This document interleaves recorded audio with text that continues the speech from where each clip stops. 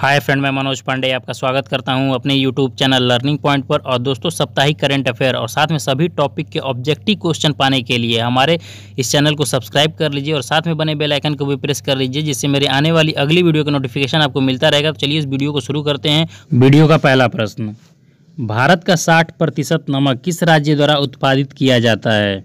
Option चार, पहला राजस्थान, दूसरा ओडिशा, तीसरा गुजरात, चौथा महाराष्ट्र। तो इसका आंसर नंबर सी, गुजरात सही हो जाएगा।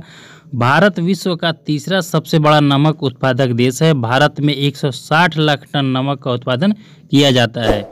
गुजरात, राजस्थान, आंध्र प्रदेश और तमिलनाडु भारत के सबसे बड़े नमक उत्पादक राज्य हैं। दूसरा प्रश्न, भारत में कच्चे नमक का सर्वाधिक उत्पादन किस राज्य द्वारा किया जाता है? ऑप्शन चार है, Karnataka, Bihar, Paschim Bengal, Assam. Answer number Karnataka A सही हो जाएगा। कर्नाटक भारत के कुल उत्पादन का 60 प्रतिशत कच्चा नमक उत्पादित करता है। तीसरा प्रश्न अरुणाचल प्रदेश को पूर्ण राज्य का दर्जा कब मिला? ऑप्शन चार हैं, पहला उन्नीस सौ पचासी, दूसरा उन्नीस तीसरा उन्नीस सौ सतासी और चौथा उन्नीस तो इसका ऑप्शन नंबर सी, उन्नीस सौ सतासी सही हो जाएगा। 20 फरवरी उन्नीस सौ सतासी को अरुणाचल प्रदेश को पूर्ण राज्य का दर्जा दिया गया। इससे पहले अरुणाचल प्रदेश केंद्र शासित प्रदेश था। चौथा प्रश्न बनिहाल दर्रा भारत के किस राज्य में स्थित है? ऑप्शन चार हैं, और Jammu Kashmir, Himachal Pradesh, Uttarakhand, Sikkim. Option number A, Jammu Kashmir सही हो जाएगा। बनिहाल दर्रा जम्मू कश्मीर में पीर पंजाल पर्वत श्रेणी में 2832 मीटर की ऊंचाई पर स्थित है। चौथा प्रश्न, गंगा की मुख्य शाखा को बांग्लादेश में किस नाम से जाना जाता है? ऑप्शन चार है, जमुना, पद्मा, मेघना Kalindi option number B Padma सही जाएगा। गंगा नदी, इस पद्मा शाखा की लंबाई 120 किलोमीटर है। बंगाल की खाड़ी के निकट यह मेघना नदी में समाहित हो जाती है। छठवां प्रश्न, भारत में कोयर उद्योग मुख्य रूप से किस राज्य में केंद्रित है? ऑप्शन चार है, कर्नाटक, तमिलनाडु, केरल और आंध्र प्रदेश। तो इसका ऑप्शन नंबर सी केरल सही हो जाएगा। यह उद्योग नारियल पर निर्भर है। केरल विश्व के कुल उत्पादन का 60 प्रतिशत सफ़ेद कोयर का उत्पादन करता है।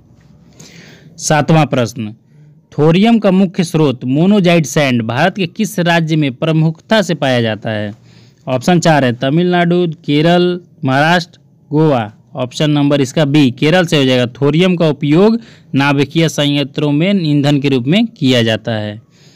आठवां प्रश्न नामचिक नामफुक कोयला किस राज्य में स्थित है? ऑप्शन चार है, पहला सिक्किम, दूसरा मेघालय, तीसरा अरुणाचल प्रदेश, चौथा मणिपुर। इसका option number C, Arunachal Pradesh हो जाएगा। नामचिक नामफुक कोयला क्षेत्र अरुणाचल प्रदेश के चांगलांग ज़िले में स्थित है।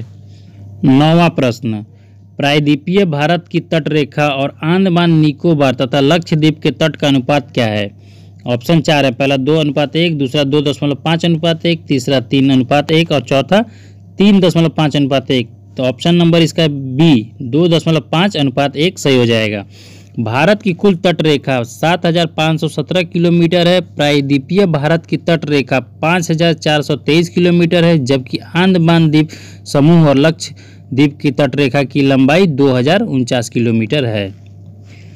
दसवां प्रश्न मालवा पठार मुख्य रूप से किन राज्यों में स्थित है? ऑप्शन चार है, पहला मध्य प्रदेश, गुजरात, राजस्थान, दूसरा है महाराष्ट्र, मध्य प्रदेश, गुजरात, तीसरा है मध्य प्रदेश, उत्तर प्रदेश, राजस्थान और चौथा है राजस्थान, गुजरात और महाराष्ट्र। तो इसका option number A, Madhya Pradesh, Gujarat और राजस्थान सही हो जाएगा। और दोस्तों, आपके लिए प्रश्न है इस क्वेश्चन से रिलेटेड कि ये मालवा पठार कितने वर्ग किलोमीटर के क्षेत्र में फैला हुआ है? इसका आप आंसर मुझे कमेंट बॉक्स में बताइएगा। और वीडियो अगर आपको अच्छी लगी तो वीडियो लाइक कर दीजिएगा शेयर करिएगा और चैनल को सब्सक्राइब ज़रूर कर लीजिएगा, क्योंकि मैं इसी तरह गवर्नमेंट एग्ज़ाम की तैयारी के लिए सभी टाइप्स के ऑब्जेक्टिव क्वेश्चन को बनाता रहता हूँ। तो आज के लिए थैंक यू फ्रेंड